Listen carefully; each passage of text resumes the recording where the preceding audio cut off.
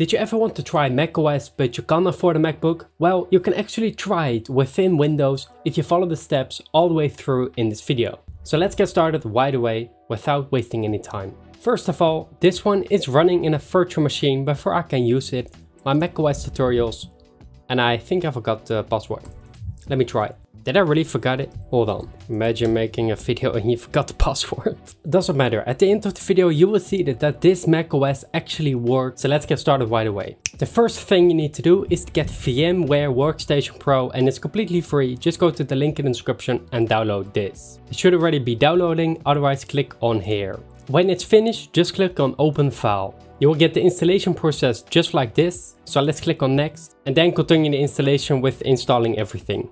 I of course already have it. If you can't figure it out, you can always comment down below and we'll directly help you. And once you're down there, make sure you subscribe so you can see more useful tech tips like this. The second step is actually getting macOS so you can run it in your virtual machine. After installing VM Workstation, by the way, make sure you open the Pro Edition and not Player. You will be sent to this website. Right here, we first need to unlock macOS so we can actually add it in the OSs. So if you want to install virtual machines, you cannot select macOS, not yet. So let's first unlock it. Very easy, go to this GitHub page. You will see the latest version. Make sure you get this release python embedded.zip. After you get that, just extract it just like this. Let's go to the folder. And right here we have win install. Let's right click on it. Then run as administrator. After doing this, it's going to give you the permission in VMware to add macOS. There you go, should already be done. Maybe you have to restart VMware Pro or restart your computer to make it work. You can now select the option in your VMware. So the next step is actually getting macOS itself so you can get it on this virtual machine. The only problem is these guys, they do recommend getting this one, which I haven't included in the description by the way, but they want you to pay monthly. Let's not do that. Go to the other link in the description so you can install the VMDK image, which is an image so you can run the virtual machine as macOS without having to really install it. Just have to install macOS It's just a clean image. Image is a copy of a full system to keep it simple. So right here, it's a second option, but you can also find in the description, third option, creating the image ourselves. So right here, just go to this GitHub page again. Right here, you have to click on code. And after doing this, download the zip file. It's going to my downloads folder. I'm just gonna remove the previous steps. So right here, click on it and then extract again. Let's do that. Right here we have the master. We have to find gib macOS.bat. You can also type gib macOS right here if you can't find it right above. Just like this and find the .bat file. Right click on it and then run as administrator. There's a chance you will get a pop-up like this. Let's click on more info. After doing that, you have to kiss your cat. Mm.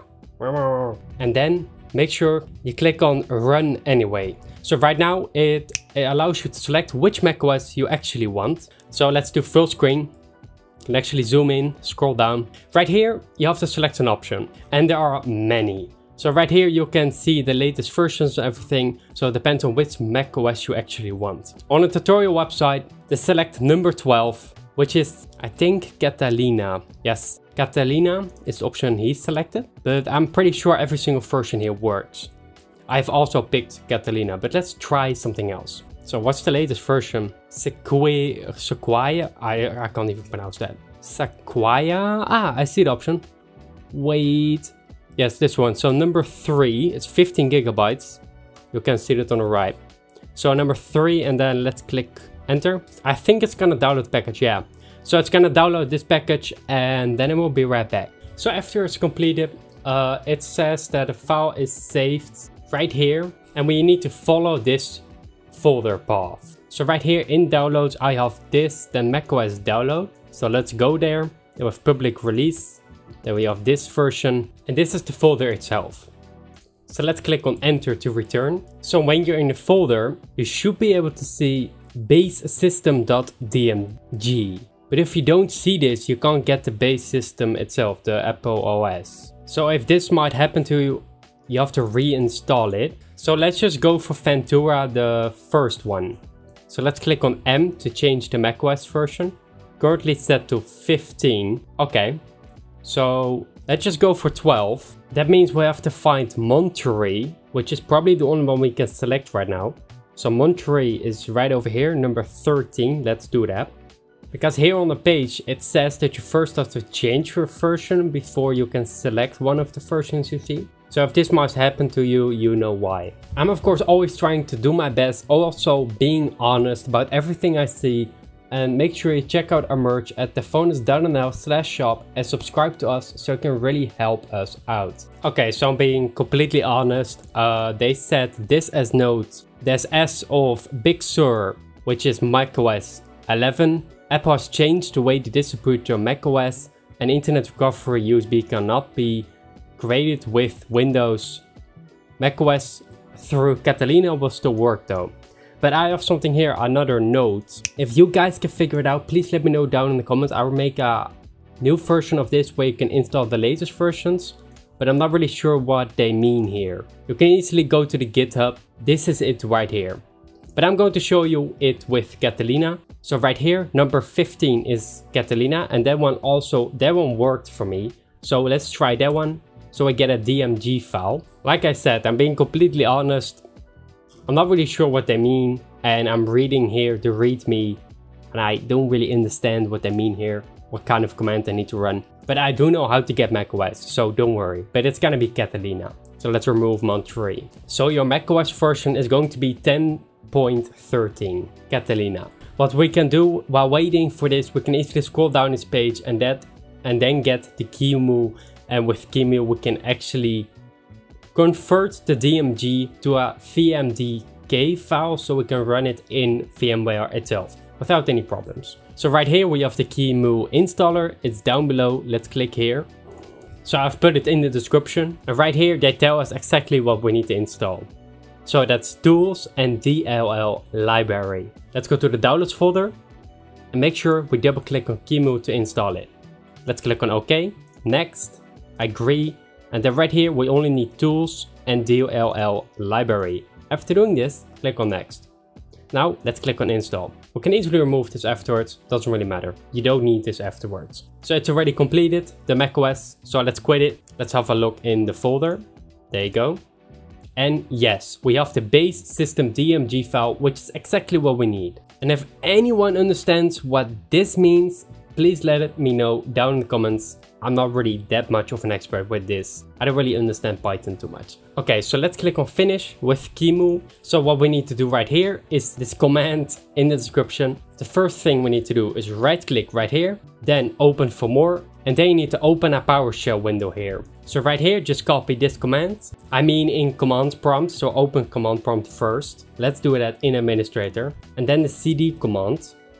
Yes. And then we need to convert this file. But first we need to copy the DMG file to this location. Very easy, get the DMG file, then copy right here. Click on this PC, then go to the C drive. After doing this, go to program files and then press Q right here and they will find QEMU. Right here, you have to put the B DMG file right here. Just paste it right here and it will copy. It should be above right here doesn't really matter, we can continue to the next step in the command prompt. So right here, just copy the command in the description. Let's do that. I'm pretty sure that's correct because it will create a Mac OS recovery. So let's click on X right here. Mac OS recovery, just click on M. Let's copy this one to our desktop, just like this. And this is the VMDK file, the exact file we need to actually run Mac OS in VMware. Very easy, right? A little bit complicated, but with my steps you can follow it. I hope so and otherwise let me know down in the comments if everything is complicated. Just like this, you can use the VMDK file in your VMware workstation. So what we need to do right now is create a virtual machine. Open VMware Workstation Pro and not Player. After doing this, right click right here, then create a new machine, new virtual machine. Let's click on typical, then we will install the operation later. Let's click on next. Let's select macOS itself. So let's select the version right here. You can see the version in the macOS downloads folder, public release. And then you can see right here, it's a 10.15. So let's do that. 10.15, that's correct. So let's click on next. Right here, this is the location, that's fine. And this is the tutorial version. So let's click here on next. So let's click it. Let's store it as a single file.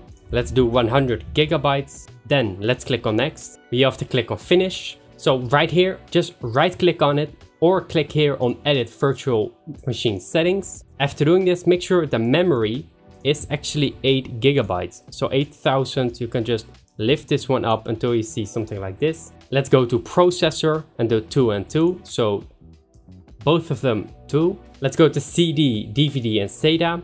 Let's turn off connect on power on. So let's click here on add so we can actually add the VMDK file. Let's do that. Let's click on hard disk, then SATA. Use an existing virtual disk, which is what we want. Let's click on next. Let's actually browse. Go to our desktop and select this macOS recovery file. Let's click on open. Just like that and click on finish. Let's click on keep existing format. And after this, very simply, just click on OK. And then we can actually already start up this macOS. So let's do that. Sadly, I can't get my error pop-up again, but if you get a pop-up where it says that the file can't be found or there are not enough permissions, just go to the file's location. And yes, I made a mess of it because I had to figure it out. Right click on it, then open properties, go to security tab, click on edit. After doing this, make sure that just select all of these. They actually get all give them permissions. And after doing that, somehow it works again. So click on here, full control for all of these. And there's also another option, but I can't see it right now. If you give all of them permissions, it should be working now. So now you can click on power on very easily and now you can start the macOS installation itself. Pretty cool. The next steps are going to be formatting your hard drive so we can actually use this macOS very easily in this virtual machine. By the way, you can always just press Ctrl and Alt, they can actually exit. I'm just gonna open this window. You can always go here and then go to the settings itself. Of course, when it's off, but right here you can click processor and add some more cores. If you have more of them, make sure you use them so the macOS has better performance. But of course I'm recording and my laptop isn't all too great. So for me it's half of my 16 gigabyte memory and then processors you should probably do 4 to 8 depending on how good your system is. It will run a lot better. So let's finish up these last steps.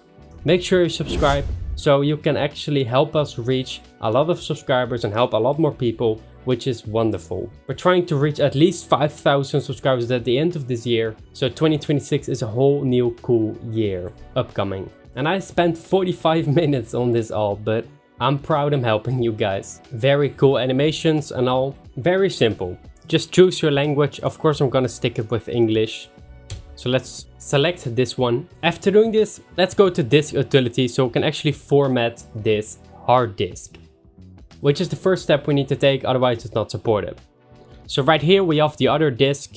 Let's click on it. Then let's click here on erase. After doing that, we can just call it hard drive. It doesn't really matter. So right here, let's do that. And then click on erase. Very simply, we have just formatted this drive. So let's click on done and then let's click on this X icon and then let's reinstall or uh, install macOS. Just like this. Very easily, just follow the steps, continue. Most important, remember your password, otherwise you can't get in. macOS is very secure. Right here, agree to the terms very easily. Let's do that, just like this. Then we select the hard drive itself and we install it right here. So it's gonna take a minute and I will be right back. After this, you just have to enter some user details and everything like that. It's pretty simple. You can even log in with your uh, your Apple ID or how did they call it? Apple accounts? I don't remember. It's called Apple ID. It's not gonna change. And you can choose to do that. If you don't want to do that, just make sure that the system doesn't have any internet when you're restarting it so you can actually log in. So very simply to do that, let's uh, open this menu right here. Let's right click on the system, then settings again. And at this, at this settings, you can go to network adapter and you can turn off connected and connected power on. So if you restart the system, it won't ask you for to log in with your iCloud or something or your Apple account. It's way simpler, I guess. You don't have to use an online account, you can use a local account. After that, it should easily go start up just like this. And this chance it will ask you for your own Apple ID, but if you don't want this, like I said, disable your network adapter. So it might take a very long while. After restarting, you will get this and then it should almost be done to log in and everything. So right now we can select our region. I'm just gonna select Netherlands because I'm Dutch myself. Very easily. Continue, continue. And just keep on clicking. I don't have a Mac, so don't transfer information. And then it says sign in with Apple ID, which I said you can skip. But we can also click on setup later. So let's just do that. Skip and then the terms and conditions. Let's click on agree, just like that. We can select a name. We can do macOS. Then, of course, make sure you have a password you can remember. We can do macOS as password. Why not? Keep it simple. Let's continue. Oh, the hint can't contain the password. We can always trick it, right? Yes, we can always trick it. There you go. Continue very easily. Let's keep continuing. Share data. Let's continue. Well, I'm not going to enable Siri. Let's continue. Like there are many features here. This is of course Catalina macOS, so that's pretty cool. Let's keep it on light, continue, and then it's gonna set up the Mac very easily. Just like that, you have created a Mac OS virtual machine just for yourself to try out macOS. So right here, it's gonna get some updates. You have to install these, of course. And while doing that, we can actually just use Safari right now, which is pretty cool because I don't own a Mac uh, device. So right here, I'm just gonna search for google.com. Of course, it says it all in Dutch, but the region in Dutch, by the way. So right here, you can just browse the web. Everything that you can normally do on a macOS, you can easily do on this system. And it isn't even that slow. It only has two cores, remember this. And you can also give it more cores, which means it will work a lot better. And to thank you so much for watching this full video and make sure you subscribe to the channel so I can make more cool videos like this. Uh, by the way, I hope this video is about 15 minutes. It took me about 1 hour 15 minutes to pretty much set this all up. It took a long while installing the OS and everything. Uh, but for rest, all the steps uh, went right. Only a few things like errors. And I also showed you how to fix that. Just comment down below if you have any questions and I'm very happy to help all of you and yeah happy community right we're helping each other and that's what we should do i'll see you in the next one and thank you so much for watching goodbye